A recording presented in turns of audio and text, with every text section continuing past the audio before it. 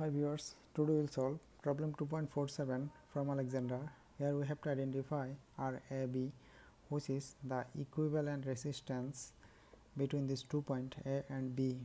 From the circuit we see that here 5 ohm, this 5 ohm and 20 ohm resistance is in parallel. So 5 ohm parallel with 20 ohm resistance can be replaced by a resistance of 4 ohm so, parallel resistance of this 5 and 20 ohm is 4 ohm.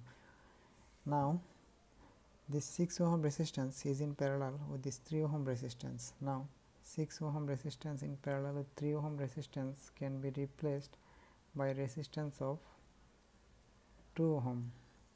So, equivalent resistance of this 6 and 3 ohm parallel is 2 ohm.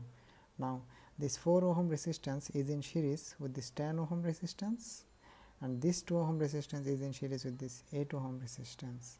So, our if we draw the simplified circuit we will get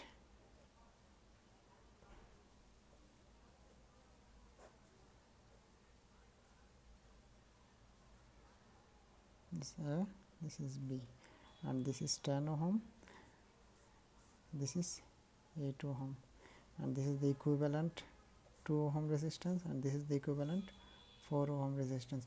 All these four resistances are in series. So these four resistance will be added directly. Now RAB is equal 4 plus 10 plus 2 plus 8 that is 24 ohm. So our AB is equal 24 ohm this is the answer